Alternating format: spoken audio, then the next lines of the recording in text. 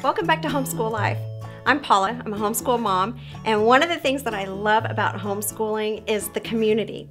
And so that's what we're here for, is to provide a place for you to learn and grow and share and be encouraged. So be sure to leave a comment and ask any questions that you might have and share your experiences as well. And take a second to subscribe and click on that notification bell so that you can stay up on our latest new content.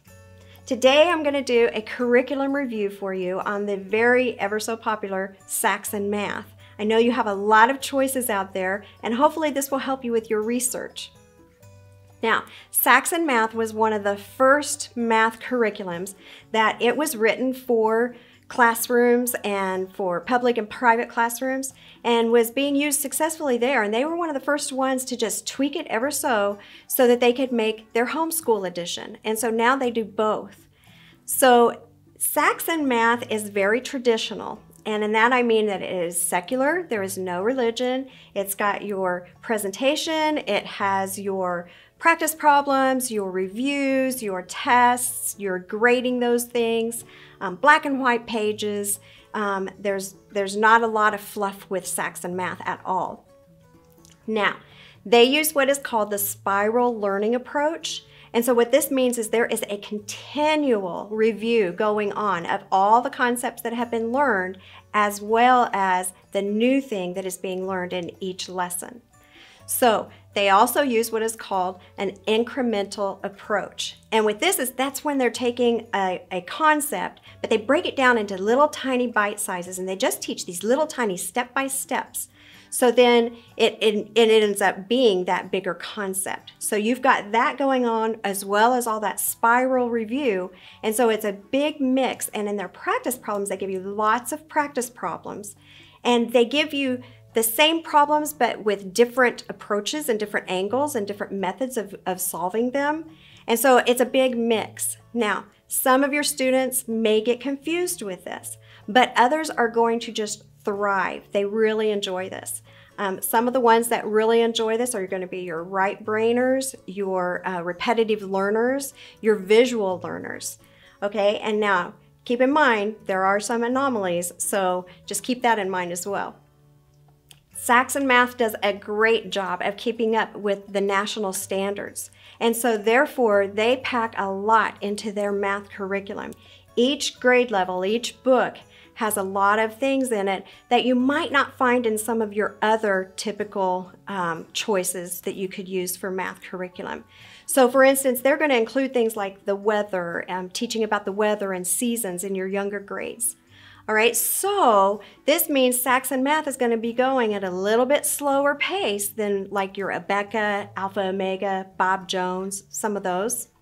All right, Saxon Math is very strong in developing those thinking skills, doing paper math, and doing um, not so strong with concepts with manipulatives. Now, you will see here in just a minute, they do use a lot of manipulatives in those grades K through 3. But after that, it's all on paper.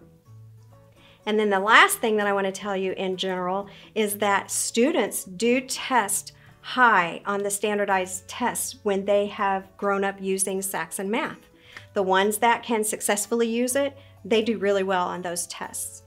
So I want to start, I'm gonna, I'm gonna break this down for you. I'm gonna show you K through three, and then I'm gonna take all this away and I'm gonna bring in the upper grades for you because K through 3 is a very different format, and that is because it is written by a different author than your grades 4 through 12. So K through 3 is very teacher-led. Um, it has scripts in it for you to follow, so it's great that you just have to follow that and read along what it says. And it's very heavy on the use of manipulatives.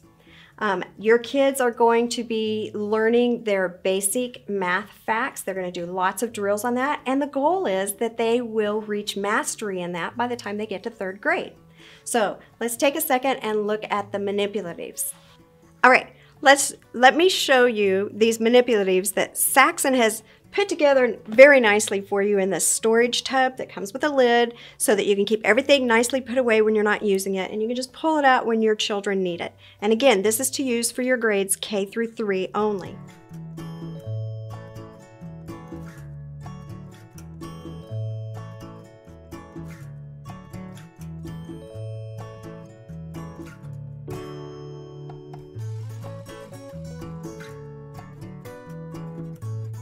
And so all of these things your children you will be using with your children so that they can learn their math hands-on through grades K through 3. Okay? Now, when you get to grades 3 through 5, you have choices with Saxon Math. You've got two different paths that you can go.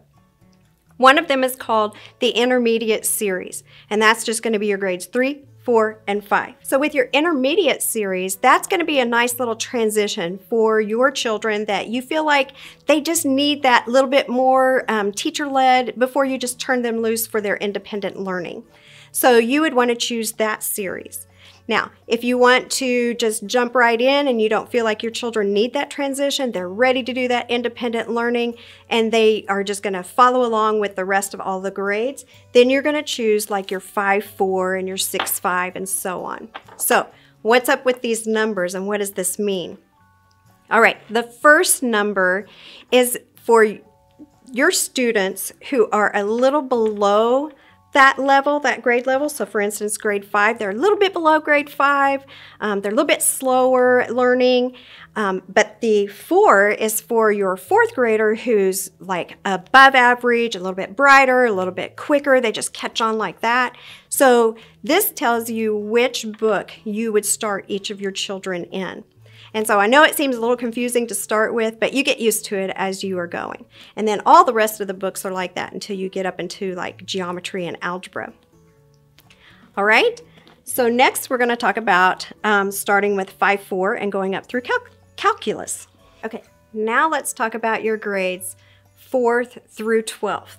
All right, and so that's going to start with your 5-4 and you've got your 6576 and it continues on up through calculus. Now what I want to show you, I'll just do this with the 6.5, is your student book. And as you can see, you've got your black and white pages, you've got simple illustrations, and so there's, again, there's not a lot of artwork or fluff or anything that would be distracting to your students that get easily distracted with any of that. Along with the student book, you get your tests and your worksheets. And they're nicely three hole punched for you, so they're ready to go in a three ring binder as well. And again, simple black and white.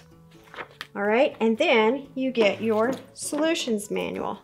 And your solutions manual has your entire solutions to it so that it's not just the answers for you. And so that's very helpful.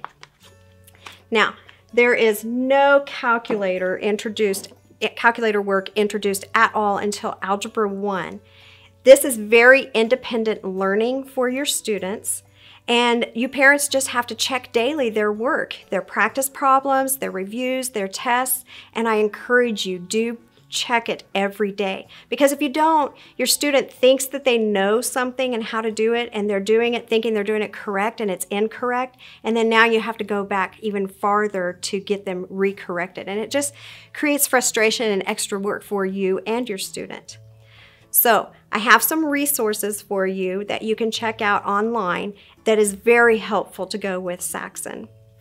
The first one would be CathyDuffyReviews.com. She does a great job breaking down what is covered in each of these different books.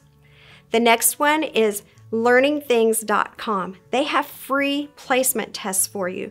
So if you're new to Saxon, if your children are in upper grades or anywhere besides kindergarten, they can take these placement tests and it will tell you exactly which book to start your child in homeschoolplanet.com has lesson plans for Saxon already pre-made for you.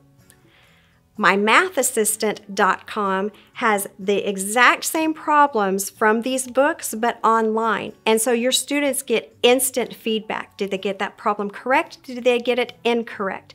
And you can monitor and then you can tell when they need to maybe review a lesson or just back up and relearn a lesson really quick. All right, and another one is hmhco.com slash homeschool. Make sure you get on the homeschool because they do both secular and homeschool.